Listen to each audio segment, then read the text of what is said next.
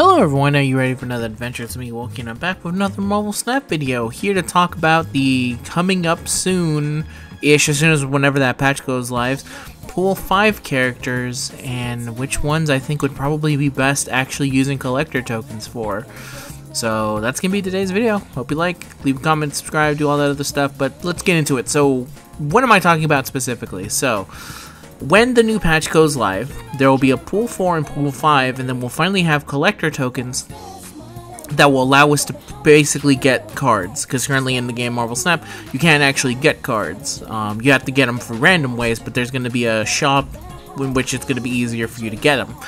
Now, that's great. Now, here's the problem that they've created, is that Pool 3 cards are worth a thousand Pool 4 cards are worth 3,000 and Pool 5 cards are worth 6,000. And at the moment now, um, Pool 5 cards are borderline impossible to pull. I think the math on it is is that basically you'd have to spend somewhere close to 20,000 credits to maybe get one. It's like it's the rates are very they're comically hot like low to actually get one. Um, so it would probably be in your best interest to get one of these guys over the other ones. I'm not saying, hey, at the end of the day, do what you want to do, but I'm here to tell you that, you know, it's smarter to get one of these six. But thankfully, there's only six. Now, unfortunately, that cost is in 6,000, and even someone like me who's over at collection level 3,000, I have to basically pick two of these. So let's go over them and I'll give you my specific thoughts on them, and you'll feel, feel free to do the same for me if you have anything that I'm specifically looking over. So, let's start with uh, Bast over here, which is a very interesting unit because she is a one drop, one uh, one power, whose entire on reveal effect is set the power of all cards in your hand to three. Um, what does that specifically do? Well, the first thing that came into my mind was that obviously you want to use her with Cerebro, Cerebro 3 specifically. Uh, Cerebro, it helps kind of reset the fact that Scorpion basically killed the Cerebro deck.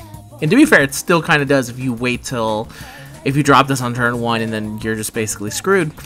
Um, that was my first initial thought, but then I was reminded, oh wait, it sets it to all the three, so if we actually filter it here and we go to power minus one, that makes Adam Warlock a three uh, three power. It makes Angela three power. It makes Ant Man three power. It makes Zola three power. It makes Bishop basically almost back to pre-nerf Bishop. Black Widow's up into a three. Bucky is gonna die, so it doesn't matter. Cerebro's a three power, which is very nice. Dagger could get the three. You could get Deadpool the three. Start that going. Dracula doesn't matter. I would say Elektra doesn't matter either. Forge is just nice because now he's just a 2-3 and that makes him on par with a lot of stuff. Gambit is basically back to his pre-nerfed form at a 3-3. Green Goblin is actually a nerf if you get him the 3 powers. So don't do that. You wouldn't ever want to run the 2. Hazmat, that's a big buff to Hazmat. Hawkeye actually gets a little bit better because now he's a 1-drop who turns into a 5. That's much better. Uh, obviously, that's an Green Goblin. You would never use it with Goblin. Iron Man turns into a 5-3. Ironheart into a uh, Ironheart into a 3-3. Jubilee into a 4-3. Morb over here gets at least three, even if you don't end up discard discarding everything. Here's the big one. Mr. Negative goes to three. Pre-nerf almost. In pre-nerf form, he was a 4-4 and he was a menace, and then he was nerfed to a 4-1 until finally being a 4 negative 1. Uh, kind of crazy if you're able to get him back to his pre-nerf form. Uh, almost close to that. The Mystique is now a 3-3. Nakia is a 3-3. Patriot's a 3-3. Psylocke's a 2-3. Rogue, who is supposed to be a 1-drop specifically to help with the fact that her ability is extremely good, has now turned into a 3-3. Sandman is now a 4-3, which is crazy. Sunspot, you could potentially make him a 3. Doesn't not much change to Squirrel Girl or Taskmaster on this one. Collector, you get a 3. Hood turns into a 1-3 that gives you a 6-9 power on turn 1 with that one. Crazy. Venom gets to start with 3. Wasp turns into a 0 cost 3. White Tiger into a 5-3 and Wolfsbane into a 3. There's a lot of fun that you could be had with this. And even the, these are all cards that have like 1 power. If you want to go even crazier, you go into the 2 power ones and you can see a little bit more. Brood turns into a 3-3 that produces 9 basically. Uh, a little bit of diminishing returns when it comes to these dudes, though. Um, Mr. Sinister would be funny with the turn these are three. Small buffs, obviously, for this one. But, yeah, I think there's going to be a lot of fun to be had, and the more cards that either get to have negative power or a one power or zero power are going to be impacted huge by what Bast does. So I think that's kind of fun. Very fun little uh, deck you could end up making. And I think probably would fit best in something like Mr. Miracle or Cerebro. Um, Mr. Negative for sure, because Mr. Negative you have a lot of cards that are high cost but low attack, and if they're in there in your hand, they're useless to you. But it completely changes when it's the other way around. Alright, Galactus. This is gonna be...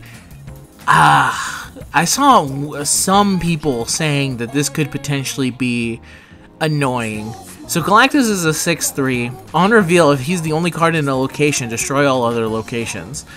Um, that's extremely good. The reason is is that there's actually a lot of cards that you can kind of go into this.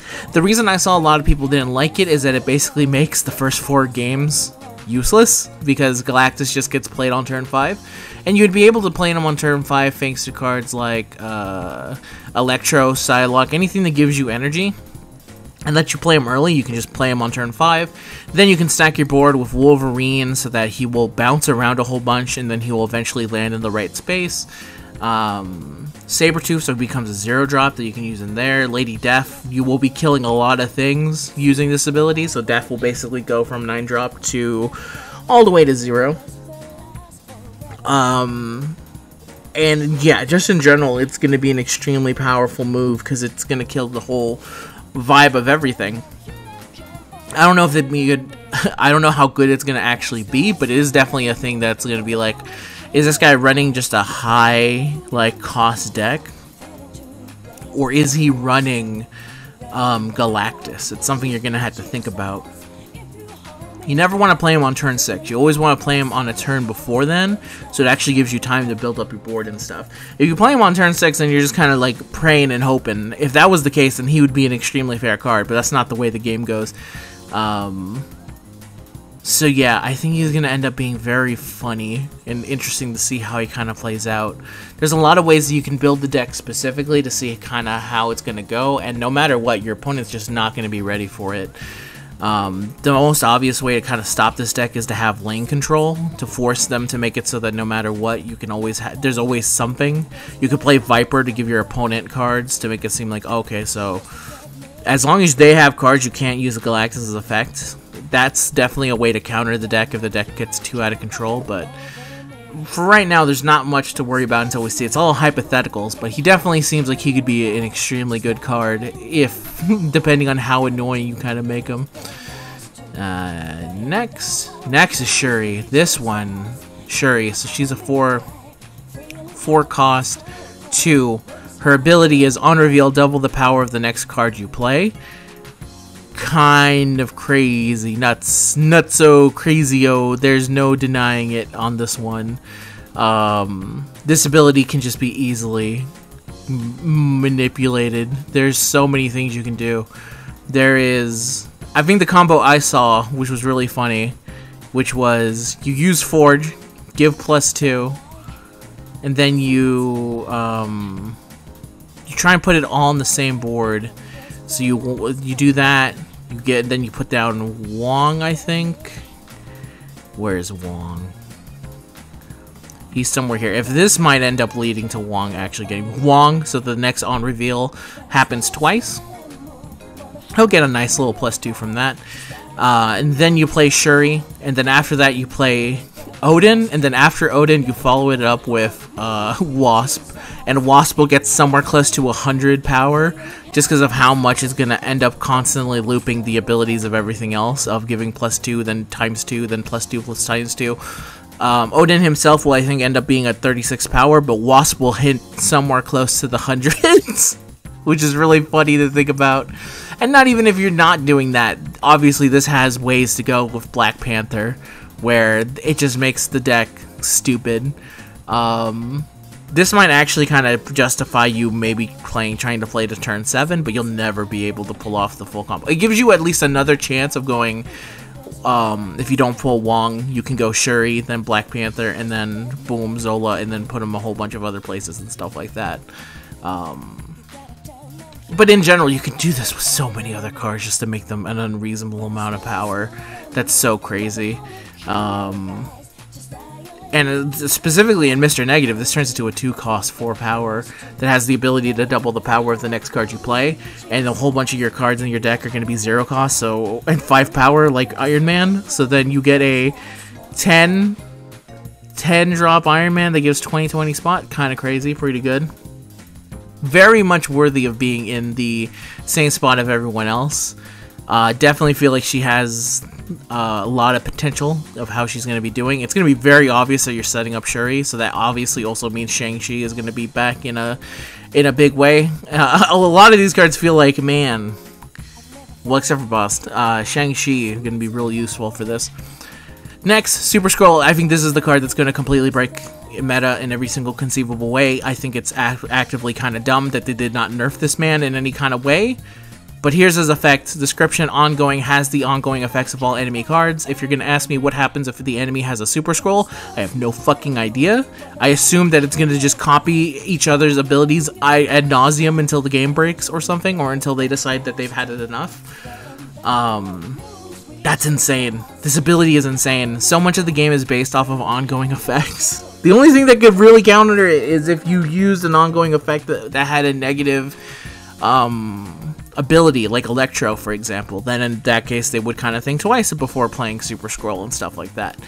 But more likely than not, you're not doing that, and instead you're building a, you're fighting a Wong deck, and if they're fighting Wong, then now basically you have Wong without ever having needing to do anything. It's basically a free rogue. I think this guy basically ups the the uh, the usefulness of rogue, just because of how much I think rogue would help deter a lot of things. Because if the rogue steals Super Skrull, and then you can just basically re reverse Uno and say, no, you, they have a useless 4-2 on the board, and you now have the ability to steal their ongoing effects. I think that's really crazy. Um, we'll see how crazy he actually ends up being. Again, in my mind, this guy completely destroys a lot of the meta because so much of the meta is ongoing effects. Um, all those crazy effects you see where it's like, oh man, uh, onslaught, onslaught, onslaught, followed by um, followed by uh, blue marvel. That's crazy. That's a two card combo. Now imagine you just play Super Skrull and you just take that combo for yourself. That's what Super Skrull is. That's crazy to me, and I feel like I don't know. I don't know what. I feel like he would probably end up being a six drop to be 100% real with you, but we'll see we'll see where he kind of ends up. Maybe I'm overestimating him. It's entirely possible. But right now, in my mind, I just look at this guy and I go, this is a mistake. This is actively a mistake. If you think Black Panther was really strong and possibly a mistake, this is like a mistake times two. Next, we have Thanos. This is obviously the most goofiest of them all. this is the one that's gonna be... It's gonna be really interesting to see what people build off of this, because I think this deck uh, is probably a little bit bad because you're gonna have to put in one, two, three, four, five, six stones in there. And yeah, the stones have nice effects, but a lot of these stones can be kind of taken down pretty easily with Killmonger, which D-Free pointed out to me. Actually, you probably would want to get them killed by Killmonger so you could free up board space. Um, which is a very good point. I didn't really think about that, but you could definitely do that, and there would be some synergy in there with Lady Death and stuff like that. But the problem is, is that you still would not have enough to warrant a lot of stuff in what you're using here. And putting your deck with this many cards is kind of crazy. Like, think about that location that puts in five rocks. And think about how often you draw the rocks and how much they end up not being useful to you. That's kind of what I feel like a lot of these stones are going to end up being, especially because they're like 1 1, 1 1, 1 1, 1 1, 1 1, and 1 3 for Power Stone. the ultimate power, a 1 3 drop. Um, it's going to be interesting to see what kind of deck people build around him, because at this moment, he feels like the one that's definitely the most gimmicky. You'd think it would be someone like Galactus, but actually Galactus has a lot of cool synergies with stuff, and could potentially be very harmful to the game state because he's destroying so much. While Thanos is like the exact opposite, where Thanos is like, ah, okay, they're running a Thanos deck. This is like Exodia. Do they draw Exodia? Let's see. It would be very fun to do, but I don't think it's a threat, so maybe not the best idea to actually go out of your way. I think out of all of these, you can make a case as to this is the one you should probably get the most out of all of them. Um, I'll say Thanos is the one where I'd say maybe just leave it the chance if you get him or not. That's what I'll say. And finally, we have Valkyrie. This effect is very good. On reveal, set all cards in the 3 power. That includes your opponent. so, hey, do you have a big old Infinite that you're really proud of? Well, congratulations. He's now uh, 3 power. He's nothing. And then if you're running Cerebro specifically, that's all you need. This basically offsets Scorpion. Because it sets everything to 3 power. Are you running perhaps some of the cards with all the negative or 0 or anything power? This is just an increase to you. Basically, if the board is 4-4 on both sides, and you turn it into a 12 versus 12. At worst, it's a tie, but if you're running Blue Marvel, that's a win because you're going to be getting both sides to 3 3, and then the plus 1 plus 1 will. The plus 1 plus 1. The plus 1 will drive you over the case, over the edge, and I think that's really cool. So, yeah, I can see her being used in both ways to be like the ultimate mitigator of like, hey, bringing dudes down to your level. Like Black Panther, for example, put Valkyrie and Black Panther in the same thing. Use a Daredevil control. See where they're going to be playing playing Black Panther, and Valkyrie completely fucking kills that dude. He's dead. He gets to activate his ability twice. That's nice. Valkyrie shows up and now he's three. He's nothing. At worst, he could get is a 12 if they still go with the Mondo thing. But for the most case, they're just gonna give up because now you completely have set them off and they know how to do it and stuff like that. So very cool. So yeah, all these cards I definitely think are going to be worth uh, the 3000. The only one I'm not sure of is Thanos. But the rest of these I think will have a place in decks already and can be made with cool decks around them. Um, Galactus being maybe the one where it's like he could potentially be very ruinous to the game. It kind of sounds like he's a little bit like the leader where the leader has obvious ways that you can beat the leader but there's no way to tell if someone's going to be running the leader until it's too late. You're never going to know if someone's going to be running Galactus until it's too late because they're still going to be playing the same basic destroy cards that you're always using. Um, so it's going to be like, ah, damn it, are they? Because it looks like they're just running generic shit. So I don't actually think that. So we'll see. Um, definitely a cool first six batch. Kind of interested to see what the other dudes are. Obviously, I know a lot of the unreleased cards thanks to this site right here, Mar uh, Marvel Snap.fan. Uh, so it's going to be interesting to see which ones get put into three and which which ones get put into four, which one gets put into five. If I had a guess as to which one of these would probably eventually go down to four, it would be Thanos. Thanos would be the first one I would think of. Um, and yeah, the rest of these seem like pretty solid to be put in five. So it's going to be fun. Um, so yeah, that's my specific advice at this. I hope you enjoyed the video. If you did, feel free to leave a like. It helps a whole bunch. Uh, show support. It's your number way of way number one way of doing it. I like this game a whole bunch, so I'm always happy to make videos about it and give my specific thoughts on cards and stuff like that. So that's the end of the video, everyone. Until next time, I'll see you guys in the next one. Goodbye.